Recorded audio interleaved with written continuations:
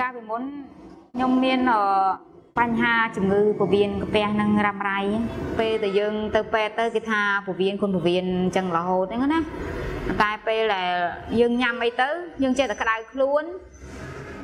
ហើយយើងញ៉ាំអីទៅបត់ជើងមកឈឺពោះឈឺមកសបោ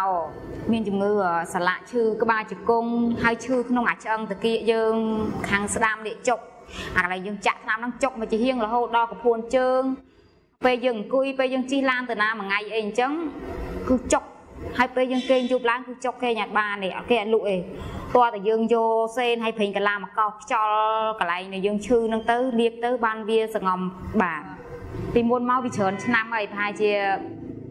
3 4 5ឆ្នាំមុនប៉ុន្តែយើងជាភាសាណា យើងជាដោយសារយើងប្រើថ្នាំពេទ្យនឹងបតែក្រោយមកទៀតប្រើថ្នាំពេទ្យឡើងត្រូវនៅពេលដែលមានបញ្ហាហ្នឹងគឺ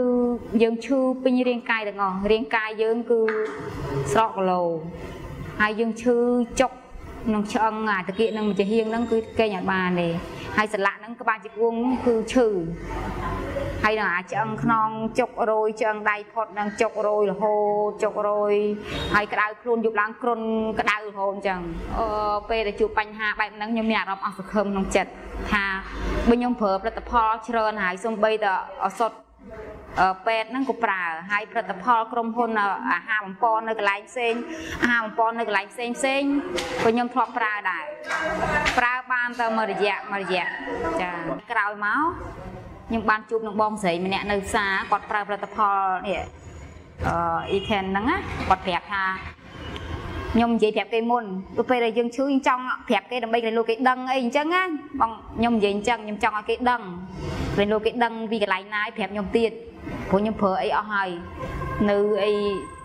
នៅពេញអីខ្ញុំធ្លាប់ទៅដែរពេលដែលបងបានជួបគ្រូសំអល់គាត់ឲ្យប្រើសារាយសមុទ្រហ្នឹងហើយនឹងវីតាមីន C ហើយនឹង IG6 ហ្នឹងខ្ញុំញ៉ាំមួយថ្ងៃពីរដងក្រោយអាហារ7គ្រាប់អាហារល្ងាចហើយ7គ្រាប់ដែរហើយនេះចឹងដែរអាហារពេលព្រឹកប្រហែលជា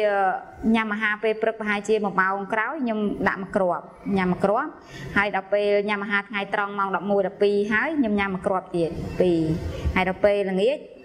ញ៉ាំសារាយហ្នឹង7ហើយអាហ្នឹង4ពេលដែលញ៉ាំមួយទឹកដំបូងប្លែកដឹងថាយើងធ្លាប់តែក្តៅខ្លួនរាល់ពេលយើងគេងយប់ឡើងគឺអត់ស្រួលណាស់សោះតែម្ដងនឹងនិយាយប្រាប់មិនឲ្យត្រូវនឹងចំណុចដែលយើងពិបាកនឹងអ្នកដែលយើងមានជំងឺក្នុងខ្លួននៅពិបាកមែនតើណានឹងប្រាប់ថាមិនប៉ុន្តែដឹងថាពិបាកប៉ុន្តែពេលដែលយើងញ៉ាំបាយមួយទឹកយើងដឹងថាខ្លួនយើងពេលដែលយើងញ៉ាំបាយហើយលេបអានឹងទៅដូចយើងមានញ៉ាំទៅដូចមានជាតិត្រជាក់ចេញមកពីចាមសាច់យើងហ្មង ញ៉ាំសារ៉ាយហ្នឹងចាទៅពេលបាន3ខែនេះគឺពេញ3ខែហ្នឹងគឺធូរស្រាលមែនតើរហូតដល់ទៅ70%និយាយនិយាយការពិតអត់មានកុហកអីថាអូនិយាយការពិតហ្មងធ្លាប់តែចកេះខ្ញុំមកអង្គុយអត់បានហើយអង្គុយជិះឡានអីមិនពេញមួយថ្ងៃអីយប់ឡើងគេងក៏អត់បានលាបពេញកន្លះគឺគេងឥឡូវគឺអត់ដែរលាបអីទេតាគៀកនឹងគឺធម្មតាដេកធម្មតាដូចគេដូចឯង ខ្ញុំសប្បាយចិត្តមែនតើបាត់ឈឺអាកពួនជើងនឹងខ្ញុំសប្បាយចិត្តជាងគេហ្មងខ្ញុំសូមប្រាប់ដល់បងប្អូនដែលមានជំងឺដូចជាកាពះខ្ញុំមានកាពះធ្ងន់ធ្ងររហូតដល់2ខ្វែងកាពះពោះវៀននឹងអាលិហ្នឹង បើសិនជាអ្នកណាមានជំងឺកាពះនឹងហើយប្រព័ន្ធខាការពារខួរក្បាលនឹងខ្សោយហើយមានជំងឺសន្លាក់ឈឺក្បាលជង្គង់ដូចខ្ញុំហើយឈឺក្នុងឆ្អឹងក្នុងឆ្អឹងតាគីអីហ្នឹងហើយចុករយបោះដៃផុតហ្នឹងអាស្មាហ្នឹងគួរតែប្រើផលិតផលហ្នឹងគឺមាន3មុខហ្នឹងណាដើម្បីយើងដើម្បីឲ្យវាបានជាសះស្បើយចឹង